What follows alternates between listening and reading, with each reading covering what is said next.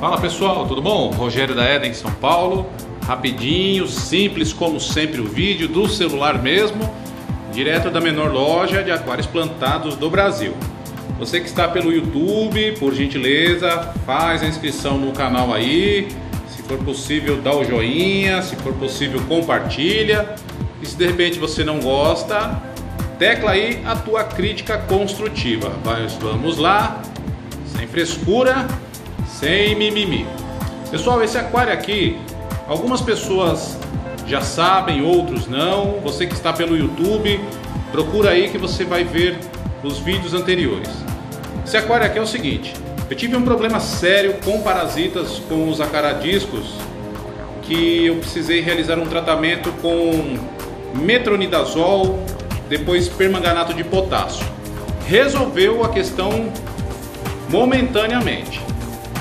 Passados-se alguns dias, pessoal, que eu reintroduzi esses animais no aquário, uma triste e desagradável surpresa. Todos eles se adoeceram novamente e para piorar a situação, todos os outros peixes do aquário. A galera que conhece esse aquário pessoalmente já perguntou: cadê os neons cardinal? Infelizmente, pessoal, eu tinha um cardume aqui, se não me falha a memória, de 200 unidades. Neon cardinal que eu tinha aqui por mais de 3 anos. Infelizmente, perdi todos. Infelizmente, pessoal. Mas os discos se recuperaram, os demais tetas que eu tenho aqui no aquário se recuperaram. O que eu perdi mesmo foi o, o cardume de neon cardinal. E aí eu entrei em contato com o nosso amigo Charles da Cena Discos sobre a questão e ele passou a informação que possivelmente o aquário todo estava contaminado. E eu quebrando a cabeça, pensando de onde veio essa porcaria que adoeceu os meus peixes. Não encontrei respostas. Quem me conhece sabe que eu sou um cara chato pra caramba, eu prezo muito pela qualidade do aquário. Do aquário não, dos aquários. Eu acredito que eu até exagero na questão de qualidade. Mas é como eu falo, eu comentei outro dia, inclusive até no canal do Antônio Cândido, do Aquarismo Brasil. Esses caras não vieram, não pediram para vir para cá. Então é nossa obrigação proporcionar o melhor. Claro que tem pessoas que têm a possibilidade de investir no melhor, outras pessoas fazem improvisos, mas o intuito sempre é oferecer o melhor, indiferente da capacidade do aquário, indiferente de qual for a espécie de peixe que você tem aí.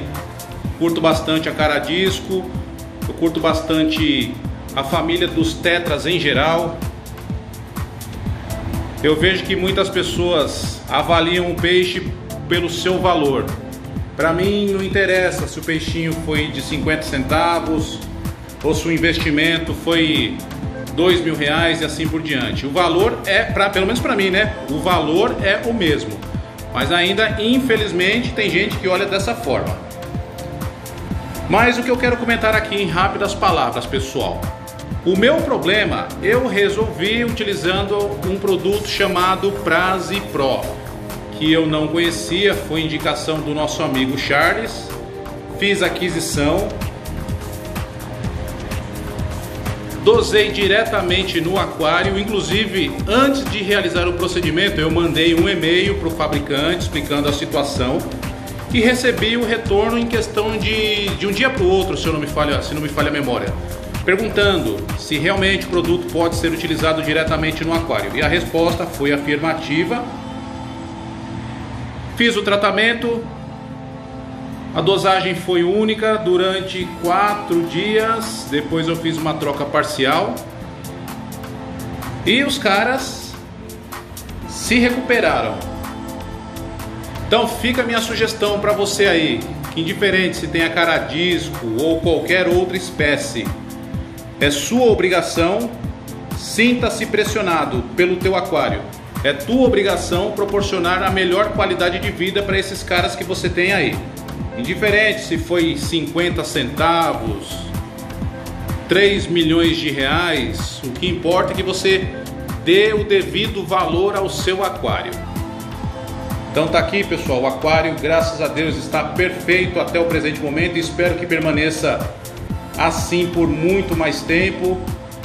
As plantas estão na fase de recuperação porque eu percebi que com a dosagem do Prase Pro houve um declínio. Algumas plantas elas definharam, mas agora, mas agora já começaram a, a retornar com o vigor. Então fica aqui um registro dessa montagem de exposição que eu tenho na lojinha aqui, com muito amor e com muito carinho. Você que está na cidade de São Paulo, que não conhece meu trabalho, vem conhecer o meu trabalho aqui, pessoal. Não custa nada, o atendimento é sábado, sempre a partir da uma da tarde. Inclusive o endereço da lojinha está na descrição do vídeo aí. Então fica aqui mais um registro, um pouquinho da montagem. O aquário vai se recuperando bem. Principalmente esses caras aí estão se alimentando super bem novamente. Deixa eu aproximar o celular aqui. Depois eu preciso realizar a poda das Nymphea Lotus, porque se eu deixo, pessoal, isso aqui fica tudo fechado. Aqui é uma parte do aquário que eu gosto muito de estar observando. Pena que pelo celular não dá para ter ideia de como o aquário está. O aquário está feio, pessoal. As plantas nesse momento estão feias, porque estão se recuperando. Mas acredito que daqui uns 3, 4 meses aproximadamente, tudo volte ao normal ao vigor que a montagem ela sempre foi. Sistema de iluminação da Maxpect dispensa comentários. É um investimento que vale cada centavo. A gente vê a vida gritando nos nossos aquários de exposição. O substrato que eu uso aí, muitas pessoas perguntam sempre. Eu uso o MBRE da Amazônia e nessa área que você vê frontal aqui, é cascalho de rio de diversas granulometrias. A filtragem é um sistema SAMP. A ideia era um vídeo rapidinho, mas acabei passando um pouquinho. Para você que nunca viu, que é o sistema SAMP super eficiente. Eu tenho a reposição automática aqui quando o nível diminui. Ali é um filtro ultravioleta da Cubos que é o gerador de ozônio da Cubos de 1 grama também, excepcional a qualidade. É interessante, pessoal, a ação do ozônio no aquário. Parece que não há água, impressionante. Aqui é o secador de sílica que eu montei aqui. Inclusive, a sílica já vai começando a saturar, depois eu preciso regenerá-la. Injeção de CO2, o aquário precisa do gás carbônico para o desenvolvimento. A fertilização já comentei várias vezes, mas não custa repetir. Uso a linha da Microblift, o resultado é inquestionável. Carbono líquido próprio também para inibição das algas.